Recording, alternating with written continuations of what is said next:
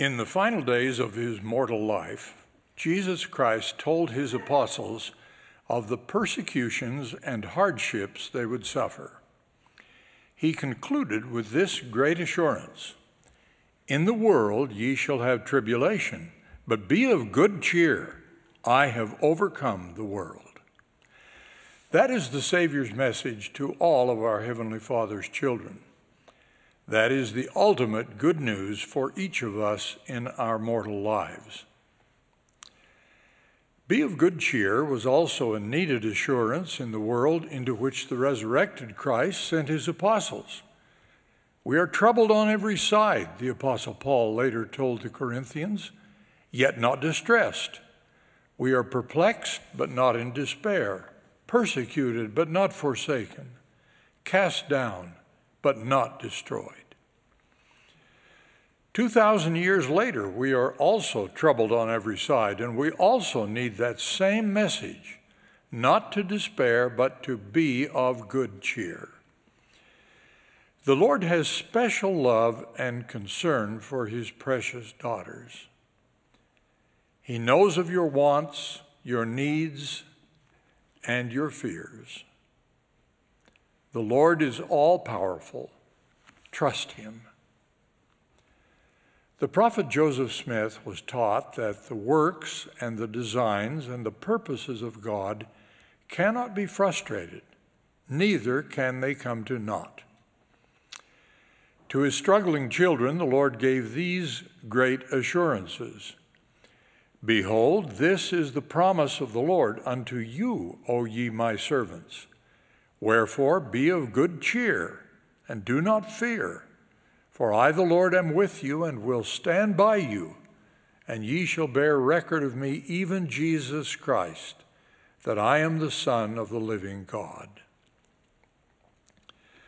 The Lord stands near us, and as he has said, What I say unto one, I say unto all Be of good cheer, little children, for I am in your midst, and I have not forsaken you.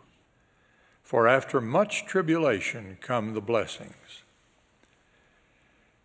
Sisters, I testify that these promises, given in the midst of persecutions and personal tragedies, apply to each of you in your troubling circumstances today.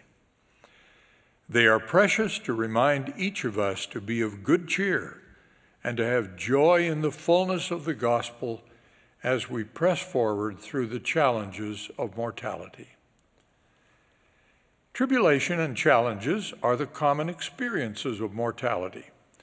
Opposition is an essential plan, is an essential part of the divine plan for helping us grow. And in the midst of that process, we have God's assurance that in the long view, of eternity, opposition will not be allowed to overcome us. With His help and our faithfulness and endurance, we will prevail. Like the mortal life of which they are a part, all tribulations are temporary.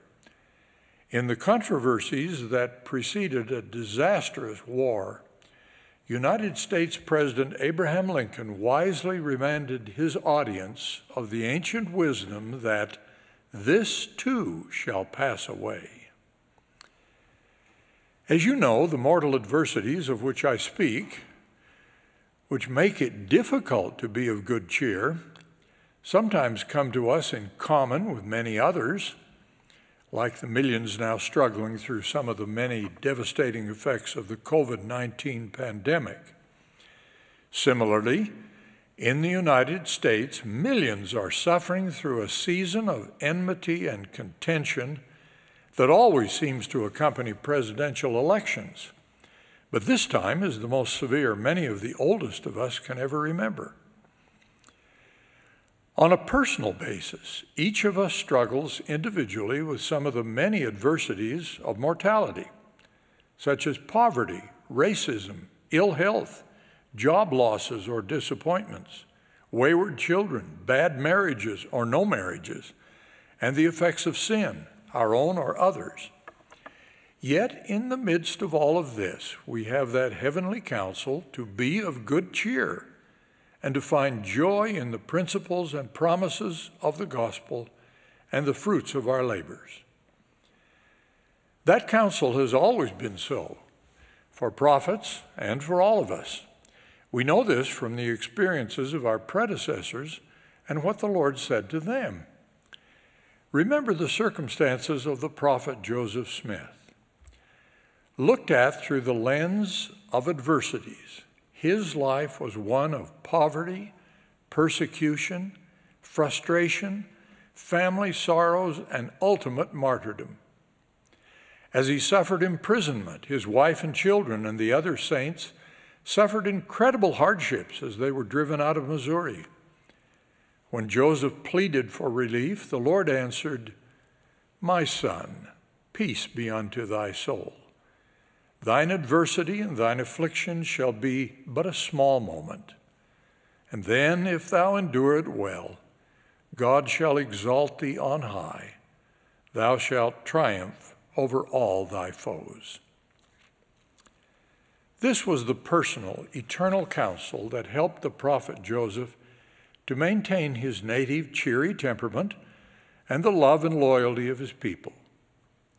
These same qualities strengthened the leaders and pioneers who followed and can strengthen you as well.